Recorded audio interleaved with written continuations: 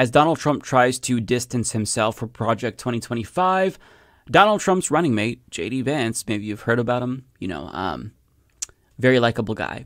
Uh, anyways, he wrote the foreword to the upcoming book of the president of the Heritage Foundation, who is leading the effort for Project 2025.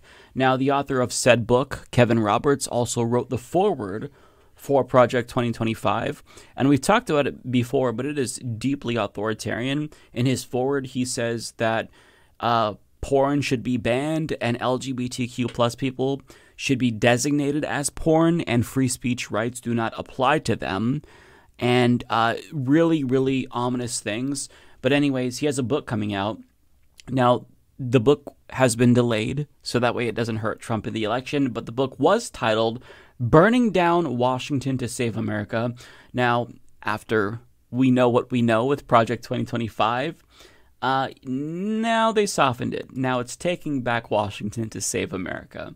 Uh, so, the book was delayed, but thankfully, we actually got access to the foreword that J.D. Vance wrote for Kevin Roberts. Now, we're not going to get the full book. I think it has been released. I believe Media Matters got a copy of it, but I just want to look at this foreword to see what JD Vance said. I haven't pre read this. I'm curious if there's like a reference to childless women because he just talks about that all the time, but nonetheless, let's go ahead and, uh, and read it.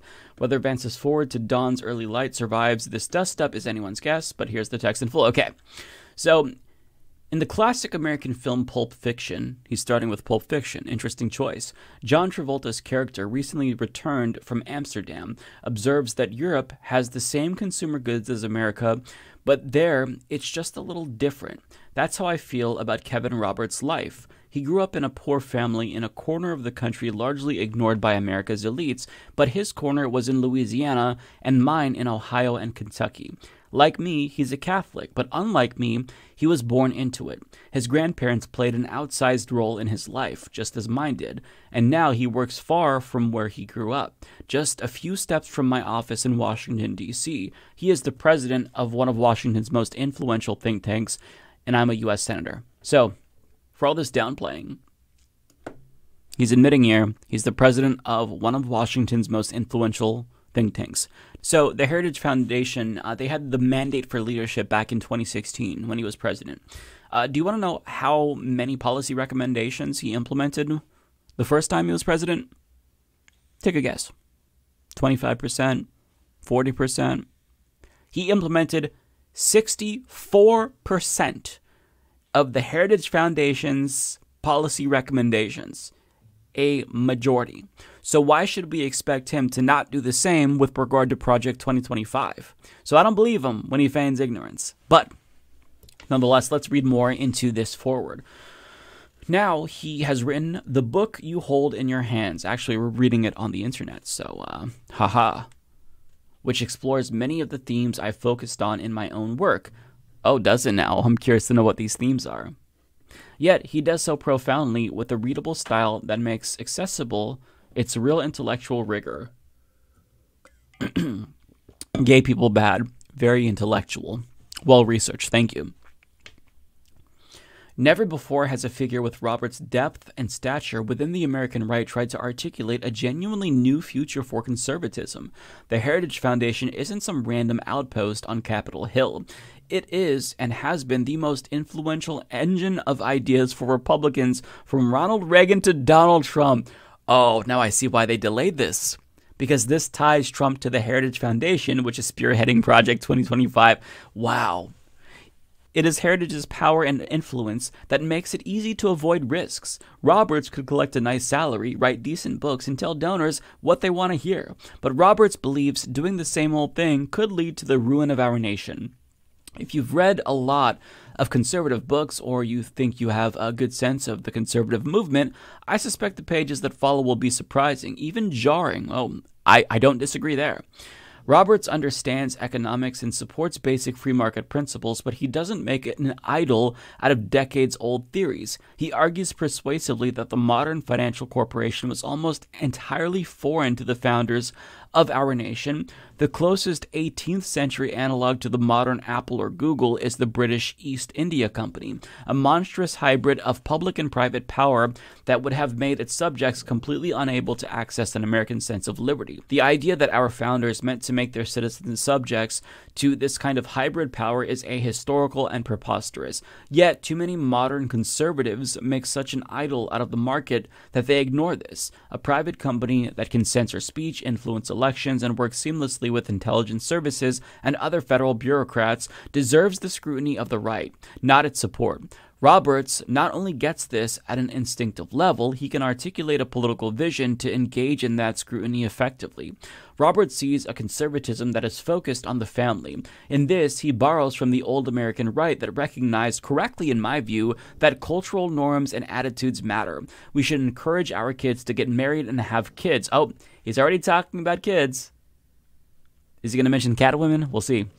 We should teach them that marriage isn't just a contract, but a sacred and to the extent possible lifelong union. We should discourage them from behaviors that threaten the stability of their families, but we should also do something else create the material circumstances such that having a family isn't only for the privileged. That means better jobs at all levels of the income ladder. That means protecting American industries, even if it leads to higher consumer prices in the short term. That means listening to our young people who are telling us they can't afford to buy a home or start a family, not just criticizing them for a lack of virtue. Roberts is articulating a fundamentally Christian view of culture and economics, recognizing that virtue and material progress go hand in hand.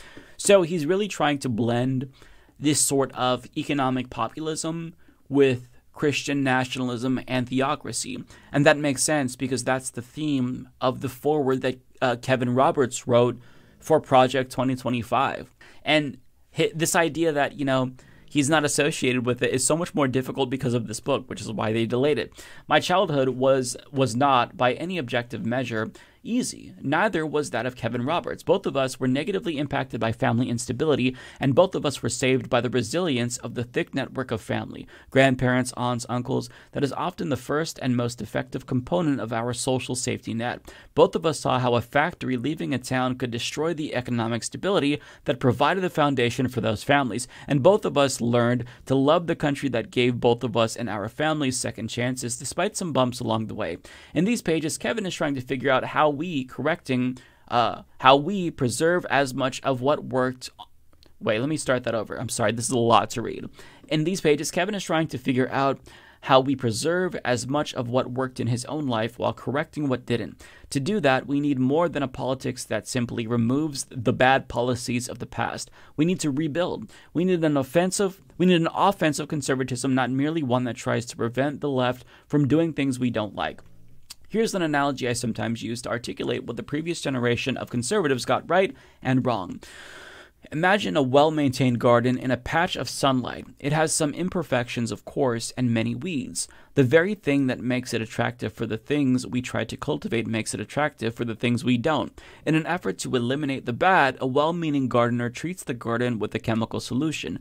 This kills many of the weeds, but it also kills many of of the good things. Undeterred, the gardener keeps adding the solution. Eventually, the soil is inhospitable.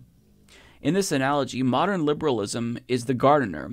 The garden is our country. Oh, thank you for explaining this. And the voices discouraging the gardener were conservatives. We. This is fucking stupid, I'm sorry. We were right, of course. In an effort to correct problems, some real, some imagined, we made a lot of mistakes as a country in the 1960s and 1970s. But to bring the garden back to health, it is not enough to undo the mistakes of the past. The garden needs not just to stop adding a terrible solution, but uh, though it does need that, it needs to be recultivated. The old conservative movement argued if you just got government out of the way, natural forces would resolve problems. We are no longer in this situation and must take a different approach. Okay. So, what he's calling for is the same paradigm shift that is recommended in Project 2025. So, this old libertarian idea of they believe in small government, I mean, we all know that that's not true because this has been a meme for a while. You know, government small enough to fit in your room or in your bedroom. Um, so they're just saying, yeah, like, fuck it. Let's just not go with that libertarian mentality. Let's embrace Christian nationalism. That's the subtext here, right? So if you hear the pitch that Kevin Roberts makes in the foreword of Project 2025, you know exactly where this is going.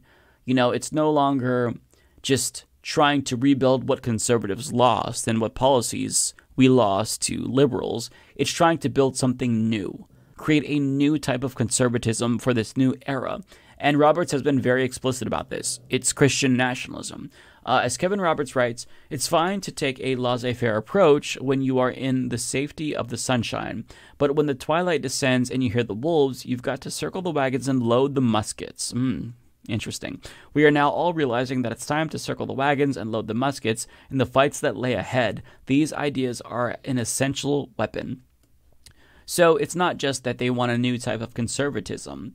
Uh, it's that they are trying to do their very, very best to communicate that the country requires this new brand of conservatism because the country is falling apart and the only way to save the country is to adopt Christian nationalism. That's that's going to be the glue that holds it all together. So don't run away from these big government ideas like, you know, trying to dictate what women can and can't do with their bodies, uh, you know, who you can and can't love, how you can identify. Don't run away from that. Embrace it.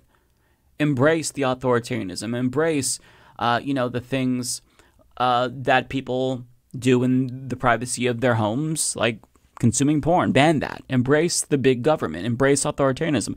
That's the pitch that Roberts is making. And the fact that J.D. Vance is uh, writing the foreword for this book, it's very incriminating. But I feel like none of this is uh, is new information because we already knew that Christian nationalism was the trajectory that this country was on. And they kind of view Trump as a vehicle for that. But if Trump loses in November, which I hope he does, um, it's not the end of this. Project 2025 is the start.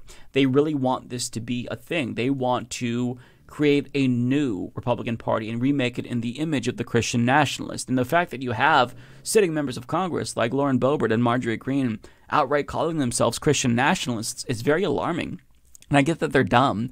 But as brain dead as some of these politicians are who self identify as Christian nationalists, you have to understand that what they're saying is very serious. Because if you're a Christian nationalist, you are saying that the government is subservient to God. The Constitution, you know, that is going to come second to the Bible.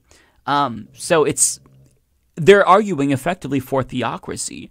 So these folks are sick, they're twisted and authoritarian and we can't let them remake the Republican Party in that image. Like the Tea Party already kind of took over the Republican Party in a sense, and now they're all Tea Party. But if this happens with Christian nationalism, then for every election in the future, we have to worry about a Project 2025 sort of agenda because every subsequent Republican president is going to want to do Christian nationalism if this strain of authoritarianism in the party becomes mainstream. So, yeah, just you've been warned, but if you uh, were curious what was in that foreword, that's what it is. Just kind of confirming what we already knew.